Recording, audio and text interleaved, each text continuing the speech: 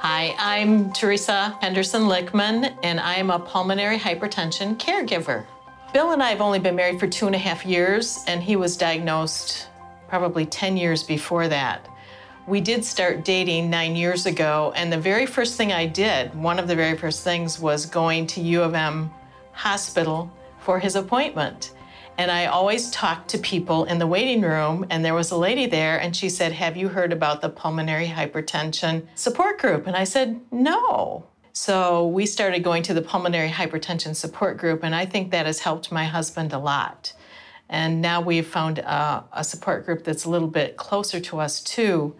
Being a caregiver, I try and not say things a lot because he knows his limitations and he's a big boy. I don't want to be telling him things that he can't do when he really can. That's the hardest part is watching him cut wood for our wood stove and really worrying about him, especially when he was on Coumadin because if he cut himself and I didn't know it, you know, that, that could be big trouble. He's not on Coumadin anymore, which is a good thing.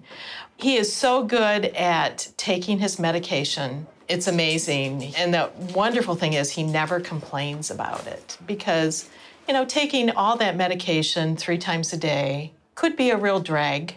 And he really does very well taking it. And he remembers and except yesterday when we were on the plane, he forgot. But other than that, uh, he does really well doing that.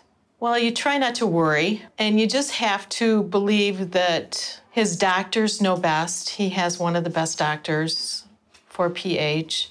And I guess you just have to live your life, and we do. This is our second vacation of three this year, and he knows his limits and if he gets tired, we just stop for that day.